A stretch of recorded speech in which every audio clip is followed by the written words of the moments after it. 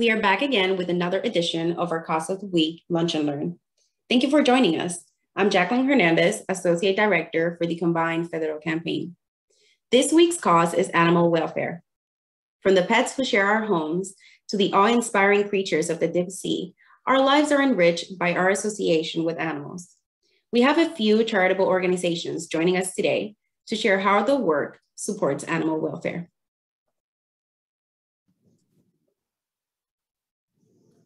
Hello, my name is Stacy Marziato, and I am the Associate Director for the Combined Federal Campaign. Joining us today is Charles Saltzman from the Humane Society of Florida, located in Boca Raton, Florida. Welcome, Charles. Hi, Stacy. Thank you for having me, and I want to thank everybody out there for taking the time to review this video. As a reminder, our CFC number at the Humane Society of Florida is 70713. Thank you. Thank you for that information, Charles. Would you mind telling us a little bit about the Humane Society of Florida and how the organization got started and when? Sure. Humane Society of Florida was organized in 2016 for committed rescuers who do not have the resources on their own to set up their small groups. We offer various rescue homes in South Florida the opportunity to operate under a common umbrella so they can take dogs from the shelters and care for them in their own homes. One ironclad prerequisite is not accept surrendered dogs direct from the public under any circumstances. We realize that surrenders of pets will never be eliminated, but as a matter of conscience, we will not contribute to it or enable it. We now have 10 foster homes in South Florida within Miami-Dade, Broward, and Palm Beach counties. Wonderful. Thank you for that information. Can you tell us a little bit about uh, how the CFC has impacted your mission? Absolutely. Since inception, we have saved over 1,300 dogs. Donations are critical to maintaining our one and only program. The CFC has been a wonderful, dependable resource for our group. Adoption fees comprise only about one third of our total revenues. Therefore, we have to rely upon these outside donations like the CFC. Wonderful. And would you mind just telling uh, our federal employees a little bit more about your organization? Sure, I'd like to describe our program. We rescue at-risk dogs from kill shelters. We care for them in a limited population foster care environment that gives the dogs a healthier and better home experience. Most dogs we rescue are two to seven years old. The Humane Society of Florida does not take in puppies or dogs under a year of age. Our foster homes accommodate just two or three dogs at any one point in time, creating that better foster environment. More importantly, we use what is known as the ASPCA's Adoption Ambassador Model. This means that each one of our foster caregivers has the freedom to arrange, approve, and deliver their own adoptions. The biggest advantage of this model is a more effective method to attract a potential, ad potential adopters. The dogs wear Adopt Me vests while out in public, so it's abundantly clear that the dog is available for adoption.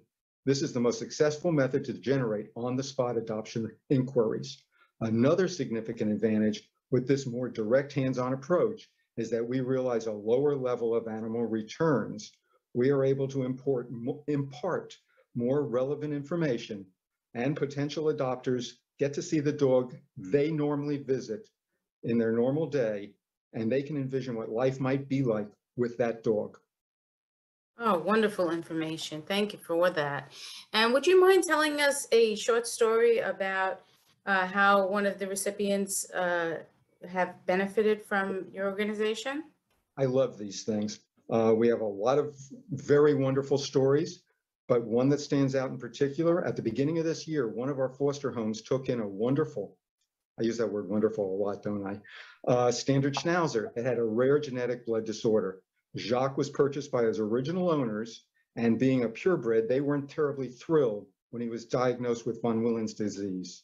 Since these people just couldn't be bothered with a dog that wasn't perfect, Jacques was surrendered to a municipal shelter, and that's where we came in. Jacques was quickly adopted and renamed Augustine, Augie Doggy. Their son Jason had recently been diagnosed with Asperger's syndrome, a high functioning form of autism. We felt this would be a great match and has proven to be just that. This picture shows Jason with both Augie Doggy and his sister Jocelyn. Uh, that is right? so cute. Well, that is such an amazing story, and we, we, we're so grateful that you have taken the time to share with us uh, some information and your time about your organization. We thank you so much for that. Thank you very much. And just as a final reminder, our CFC number here at the Humane Society of Florida is 70713. Thank you to everybody who has taken the time to, uh, your valuable time to review this video, and I wish you the best today. Thank you. Uh, we have the Best Friends Pet Assisted Therapy, and we have Millie. Oh my God, you gotta see Millie. Uh, Millie's hiding behind the table here. Millie, hey, girly girl. She's like, yeah, no, I'll let you pet me. She's a golden retriever. She's Yes. gorgeous. And um, I mean, I'm so glad you brought Millie. I'll take care of her. Okay. If you'll just tell us what, what your organization does. I mean, it's in the title, right, Karen? But Right. I, just tell me more about what you do and, and how you got to where you're at.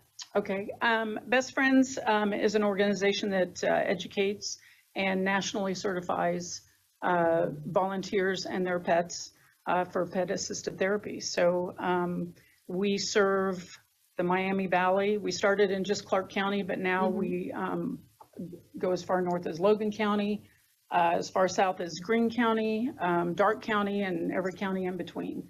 Um, so when they first started, um, primarily these pets were just going to medical facilities. Okay. So now we've just expanded. Um, we have teams that go to the Dayton International Airport Mhm. and um, are there for passengers that might be nervous to get on a plane. Or we have uh, teams that um, uh, do the honor flight Oh, for okay, yeah. veterans. Yeah, so we send them off and then we're there when they return. Um, We have teams that are part of the Springfield City Schools uh, crisis uh, Okay. team.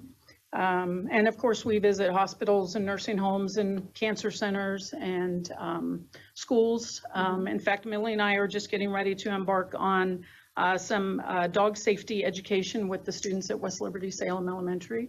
Um, So we're going to be doing that. So, yeah, She- so She's so good. she is a sweetheart. So now do you have, uh, are they all Goldens? Are they different breeds? No, any, Uh, different any animals? kind of dog can Okay, be a just therapy dogs dog.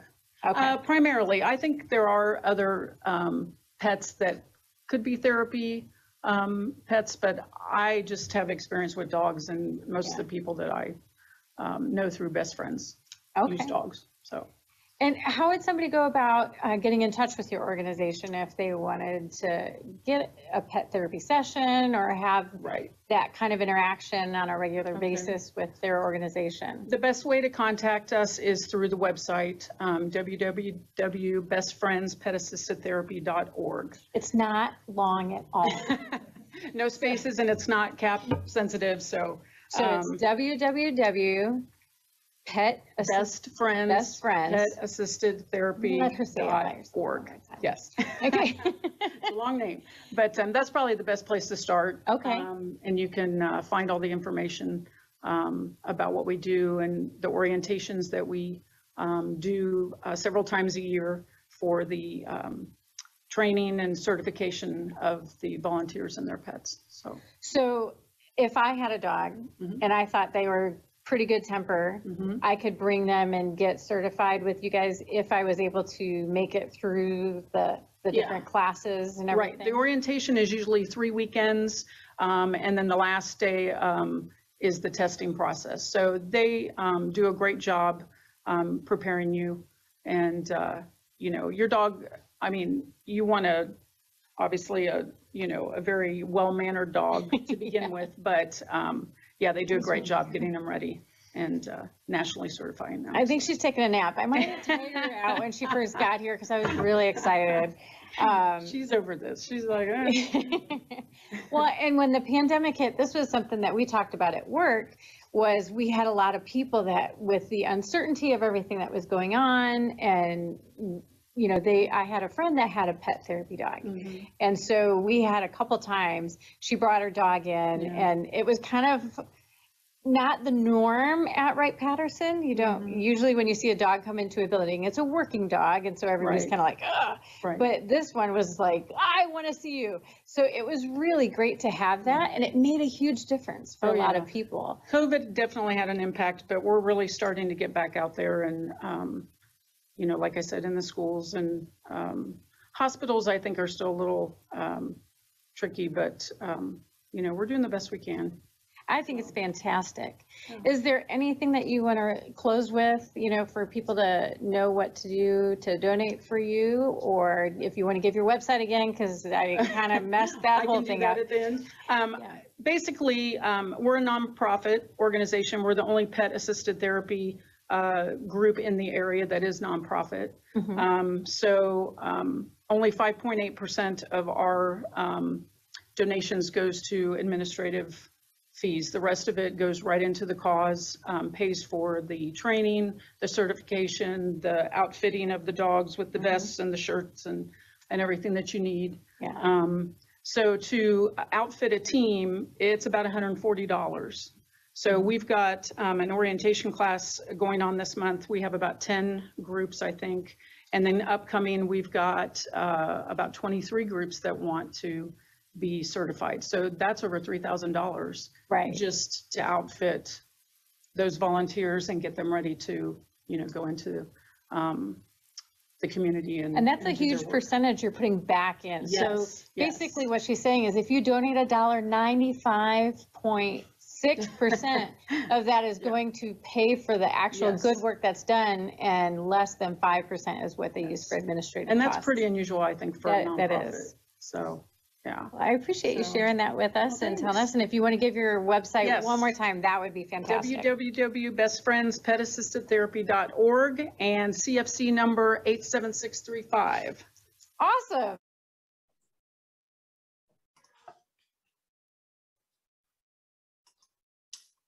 My name is Julie Dudley, and I'm one of the Associate Directors for the Combined Federal Campaign. Our cause of the week is animal welfare. I have the great pleasure in introducing Connor Gillespie, Outreach Coordinator from Wildlife Center of Virginia. Welcome, Connor. Thank you, Julie. Thanks for having me. I'm excited to tell you all a little bit about what the Wildlife Center is. and we're excited to hear. Can you tell our federal workers and retirees what is the Wildlife Center of Virginia? Yeah, so the Wildlife Center of Virginia is a nonprofit hospital for native wildlife. Um, we, what that means is basically that we can take in injured animals that are found right here in Virginia um, and hopefully treat them and release them back into the wild. Uh, we were founded back in 1982, and at the time we were one of the first and only hospitals built with that purpose in mind. Um, and now we're actually approaching our, our 40th anniversary. And over that time span, we have admitted more than 85,000 patients uh, to our hospital. And what does the Wildlife Center of Virginia do?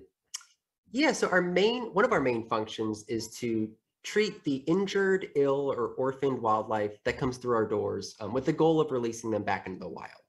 Um, so we have a full-time veterinary staff that's comprised of veterinarians and veterinary technicians that have a diverse set of skills that they can apply to the wide range of animals that come through our doors, this, you know, of all different species of birds, uh, mammals, reptiles, amphibians, um, and they can work with animals that are as small as toads and um, salamanders and rabbits, all the way up to animals that are as large as woodchucks, beavers, um, hawks, eagles, even black bears. And, and what they're going to do when, it, when an animal first gets to our hospital is they're going to, you know, do an exam, figure out what's wrong with it, and try to get it healthy. Um, so whether that means, you know, fixing broken bones, uh, maybe managing some wounds they have, um, and then once they're healthy, the next step is our rehabilitation staff will take care of them because even when they're healthy, um, that doesn't mean they're they're quite ready to go back into the wild yet. Our, our rehab staff will do, you can kind of think of them as our physical therapists or our PE teachers. So they'll uh, they'll do some exercises with the animals to make sure that they have the strength and the stamina um, to go back into the wild. And then if they're able to pass all their tests and they can be released, that is the best case scenario for us. Um, but we do a lot more than just treat injured animals here. Um, a big part of what we do is we, for each case, we take the lessons that we learn and we share them with the public here in Virginia. We share them with the millions of school children and adults um, found right here in the state of Virginia and really all over the country and all over the world so we can hopefully um, learn from what happened to them and prevent them from, you know, being admitted in the first place, you know, teach people about ways to prevent those injuries from occurring. Um, and one other thing that we do is we're actually also a teaching hospital for other students or externs or interns in the veterinary field. So we regularly have um, students here at our facility to learn from our staff, learn from our veterinarians, our rehab staff to take the skills and apply those to other wildlife centers or other organizations and agencies. Awesome. And why should donors support the Wildlife Centre of Virginia? Yeah, I think something that's really unique about the Wildlife Center is that we're large enough to make a difference all around the world, uh, but we're also small enough that every single donation makes makes a real difference. Um, as a nonprofit, we strive to be efficient and effective and really limit administrative costs to a bare minimum so that when someone donates to our center, that money really is going right to the life-saving work with the animals that we see coming through our doors. Um, and what I would encourage anyone to do that's interested in donating to the Wildlife Center of Virginia is take a look at our website. Um, it'll be a great chance to learn more about us. We always are posting patient stories, the different things we learn here at our center and what we're doing. And it's a great way to learn more about us. Well, thank you, Connor, for joining us today and for, for sharing the work that you carry out. Thank you again for having me, Julie. And to all the federal workers and retirees out there, thank you for your generosity, both in the past and in the future. Um, we really couldn't couldn't do what we do without your support, so we're really grateful. If you care about animal welfare, help support our animals with fur, feathers, and fins. A big shout out to all of the organizations who were able to join us this week. Remember, you can be a change maker. You can be the face of change at givecfc.org.